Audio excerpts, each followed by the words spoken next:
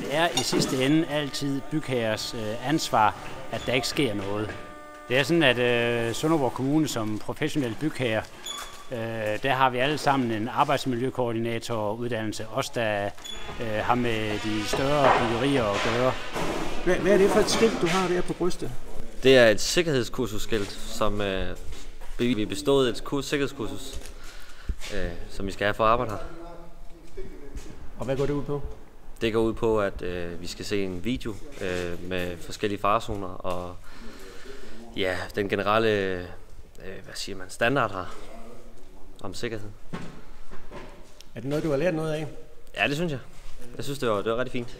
Det var, der, man, så kender man også lidt bedre dem, man arbejder sammen med, og har lidt mere respekt for det.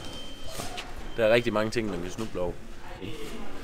Men altså, ja, vi, vi prøver at holde så meget gulvareal ryddet som muligt. Og så have materialerne liggende et sted. Altså det, hvad jeg mest gør, det er jo det, hvis jeg nu skærer nogle ting, så er det sammen få ryddet op efter mig, i stedet for at jogge rundt i alt det affald, man har liggende og fylde. Og så kan jeg se, så har du som man skal have hjelm og handsker på og alt det der. Ja.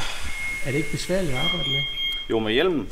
Det, det var indtil jeg fik en hjelm, hvor man kan stille herom, i, at man kan få den til at passe. Førhen det faldt de jo bare af hele tiden. Hvis du øh, ved, man tager hovedet med, så... Men øh, det er en vandsag. I går det glemte jeg faktisk, har jeg låst container, så står jeg stadigvæk med hjelm over. Men mærker han ikke så med.